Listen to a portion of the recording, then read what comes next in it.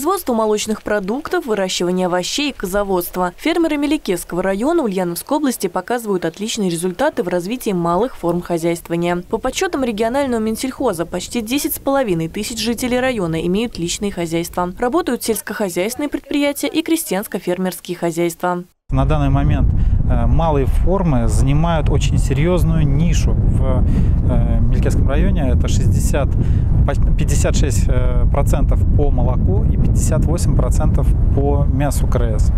То есть они уже лидеры уже больше, чем сельхозпредприятия. Фермеров старается поддерживать государство. Это программы «Начинающий фермер», «Агростартап», «Семейная ферма». Свою продукцию фермеры реализуют через торговые сети области, местные небольшие магазинчики и на ярмарках. Осваивают сельскохозяйственники и другие форматы торговли, к примеру, через интернет-магазины и соцсети.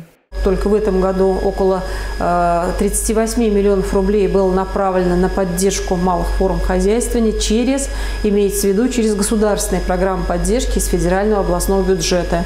В частности, в программе «Агростартап» от Меликесского района победителями из 15, из 15 грантополучателей, пятеро у нас из Меликесского района.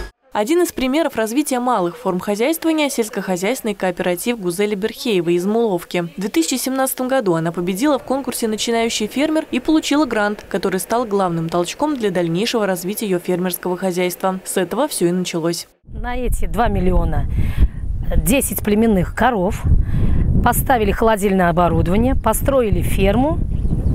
На сегодняшний день у нас 24 коровы, порядка 18 э, крупнорогатого скота – это телочки-бычки. В 2019 году фермер создала кооператив. Сейчас туда входят 23 личных и 2 коллективных фермерских хозяйства. В планах увеличить поголовье и привлечь минимум 60 новых членов кооператива. В хозяйстве производят всевозможные молочные продукты – брынзу, кефир, ряженку, йогурт, масло, творог. Реализация через магазины под собственным брендом. Анна Тищенко, Юрий Тимонин. Новости Улправда ТВ.